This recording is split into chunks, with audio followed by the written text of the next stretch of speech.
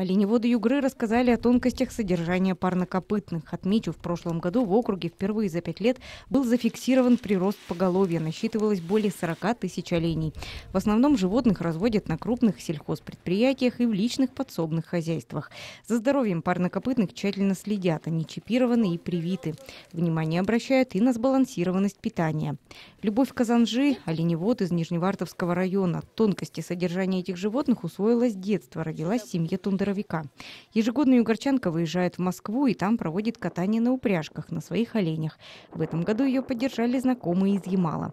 Оленеводы рассказали, чем, кроме ягеля, кормит многочисленное поголовье и что привлекает их в жизни в тундре. Я солю рыбу, соленую в бочках, потом мелко ну, рублю и даю им. Они кушают. И варю рыбу им. Потом замораживаю и выкидываю им, они кушают. Они облизывают солью. Они очень соль любят.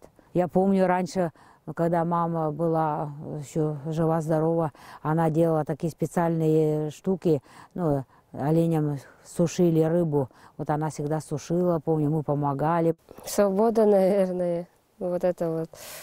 Э, то, что мы не живем не под теми рамками, ну, как бы встаем сами, там, допустим, не по режиму. У меня детство прошло в поселке, и лет 13 назад я переехала в тундру, научилась всему, и не могу я уже, это как моя стихия.